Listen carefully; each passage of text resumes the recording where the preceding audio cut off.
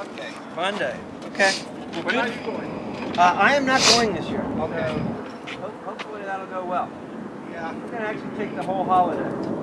Well, nice. I, uh, I'm thinking about, we should probably talk about next season and have you and uh, Marcus kind of set goals. We should definitely do that. Yeah. Uh, I think they should have like a coaching session